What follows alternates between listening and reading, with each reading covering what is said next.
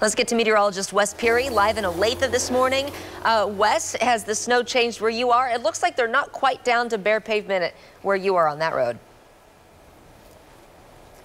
Oh no, this is uh, this is definitely a nasty intersection. We're at 119th and Black Bob, uh, and there was a car. I don't know if you can see this car down here, uh, where it has their hazards on. They have been trying to get up this hill for probably the last 10 minutes. They made it to where this this burger joint is here on the side, and they just kept on on spinning out and spinning out. They even had three people try to push them up the hill and they've pretty much uh, given up on it. You can totally, they've actually tried to give one, one more go at it here.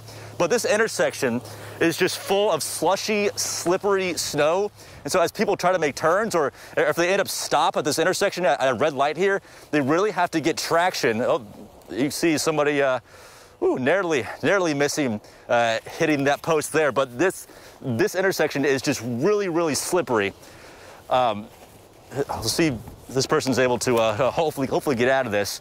But it's this is just one of the reasons why we're really urging people to to, to not go out and drive on this because I think you would rather probably stay home where it's nice and warm than end up with a dent in, in the front of your car or the back of your car because you want to go out and, and maybe get some food or, or something like that.